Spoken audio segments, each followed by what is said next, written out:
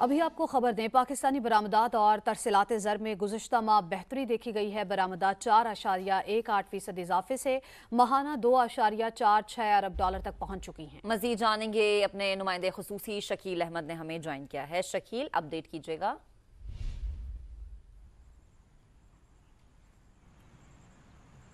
देखिए, नवंबर में आईएमएफ का पहला इकतसादी जायजा शुरू होना है। तीन अरब डॉलर का कर्ज प्रोग्राम है। पाकिस्तान को एक अरब डॉलर से ज़्यादा मिल चुके हैं और सत्तर करोड़ डॉलर की अगली किस्त मिलनी है।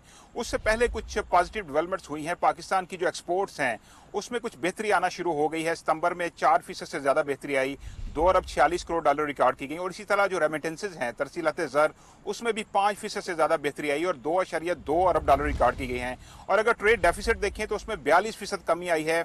और नौ अरब डॉलर से ज़्यादा था, लेकिन अब वो पाँच अरब डॉलर पर आ चुका है। तकरीबन चार अरब डॉलर की तजारती खसारे में कमी आई है। तो ये पॉजिटिव डेवलपमेंट्स हैं, जिसका पाकिस्तान को फ़ायदा होगा। लेकिन बाईस परसेंट का जो बुलंद पॉलिसी रेट है, वो ज़्यादा खतरनाक है पाकिस्तान के लिए, क्योंकि वजारत खजाना का कहना है कि एक या वन बेसिस पॉइंट्स इजाफे से पॉलिसी रेट में छह सौ अरब रुपए कर्जों में इजाफा हो जाता है और इस फ़िज़िकल ईयर में तकरीबन इस हिसाब से दो हज़ार चार सौ अरब रुपए कर्जे बढ़ जाएँगे।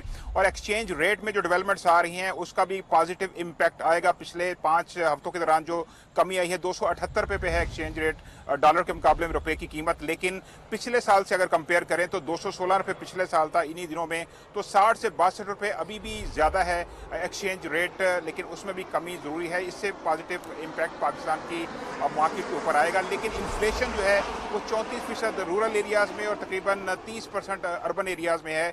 आईएमएफ का कहना है कि तेईस फ़ीसद से ज़्यादा की बुलंद सतह पर इन्फ्लेशन इस फ़िज़िकल ईयर में रहेगा, इक्कीस परसेंट का हुकूमत ने टारगेट सेट कर रखा है। लेकिन अगर पॉलिसी रेट में कमी लानी है तो उसके लिए इन्फ्लेशन में कमी आना ज़रूरी है। लेकिन देखने में यह आया है कि इन्फ्लेशन मुसलसल बढ़ रहा है। तो ये कुछ चीज़ें हैं जो कि पाकिस्तान पर काफ़ी इम्पैक्ट ठीक है। बेहद शुक्रिया शकील आप अपडेट कर रहे थे हमें।